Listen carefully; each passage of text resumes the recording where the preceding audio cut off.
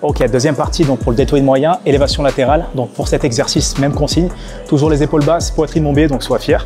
Et là, tu vas venir lever les coudes au maximum de façon à t'arrêter en parallèle face au ciel. Donc toujours quand tu descends, contrôler ta descente et quand tu lèves, ne dépasse pas le parallèle.